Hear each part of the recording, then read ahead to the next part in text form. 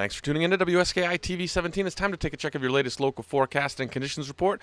Brought to you by Geppetto's. You can find them in Village West, and you can always find uh, this and much more at WSKITV.com. Looking ahead towards the day on Tuesday, we'll see mostly sunny si- skies, so get out there early and enjoy the sunshine. We'll see increasing clouds in the afternoon. Summer temperatures 5 to 9, base temperatures 13 to 17, so a bit chilly out there. Probably grab those gloves, or those mittens rather than those gloves, and have that face mask handy. And we'll see a light west south breeze uh, southwest breeze across the hill tomorrow as well, which shouldn't cause any issues. Wednesday, February 1st, no likely. Could see 2 to 4 inches of accumulation throughout the day. South and west winds uh, up towards the summit, and we'll see temperatures on Wednesday topping out in the mid to upper 20s down here around the base. For Thursday, we'll see flurries and some snow showers out there. High of 22 with a low of 8 at the summit and 14 will do it for your high on Friday with flurries, and the conditions will continue to stay uh, quite cool right into the weekend. Birchwood Interiors, they're located in Village West. They've got the best prices on Serta mattresses in the country, so go check them out. They're open year round.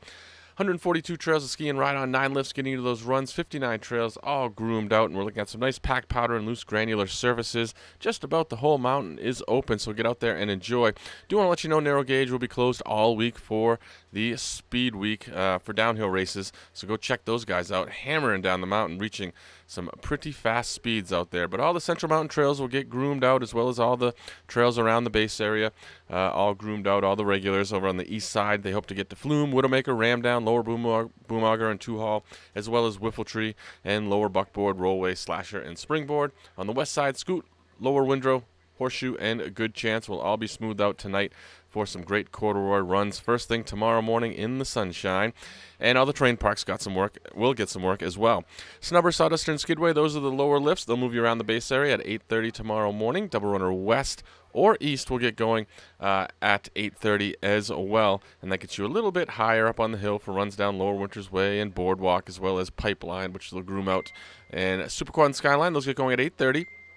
Those service the mid mountain. Skyline gets you up to Spillway Crosscut. That'll allow you to branch out all across the mountain, east to west, and the Super Quad gets you to some great uh, mid mountain terrain. Whiffletree and King Pine, those service the east sides of the mountain. They get going at 9 o'clock. Whiffletree is a nice intermediate area uh, with the Skybound Park, which is a beginner park over there to check out.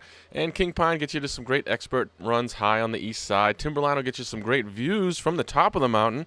And you can go right over the front face for some great expert terrain. Ski with some of the best skiers in the east. And if you want to hit the beginner terrain, hit the Timberline Trail off of the Timberline Quad at the top of the mountain.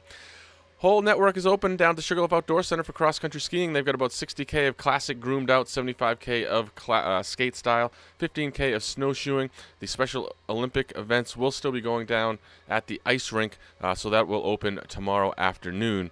And fat biking on Wednesday, Friday, and Saturday afternoons. The snowmobiling is in great shape, so if you um, waiting to get out there, wait no longer because the trails are in excellent shape uh, from Kingfield all the way up to the Canadian border.